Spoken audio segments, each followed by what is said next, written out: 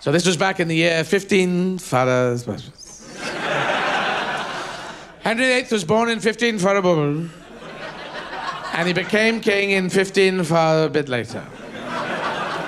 And then he split from the Catholic faith in 15 Far some time after that. And he married six women. He married Catherine of Aragon, who was very arrogant. That's why she was called that. His second wife was Anne Boleyn, who invented the bowline knot. Very good climber. Um, would have climbed Everest, but she didn't know where it was. Third wife was Sally from Birmingham, I believe. She died in a harpoon accident. Um, yes, because Henry was been watching uh, uh, Doctor No and Thunderball, which were medieval plays at the time. And uh, in Thunderball, there's a harpoon scene. The oh, she got the point. point, and that's. Uh, you're not going for this, are you? But it's true. It's true. Fourth wife was Scottish, Lady Macbeth. She was always cleaning. Just uh, get the blood off this carpet, Henry. Bit of blood on the ceiling here as well. So he divorced her, he was scared of her. Uh, fifth wife uh, had no name. She was from Spaghetti Westerns.